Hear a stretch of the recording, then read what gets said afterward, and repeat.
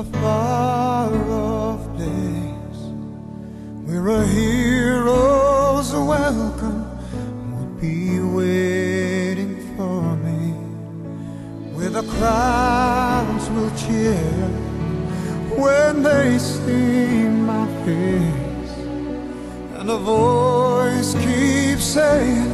This is where I'm meant to be. I'll be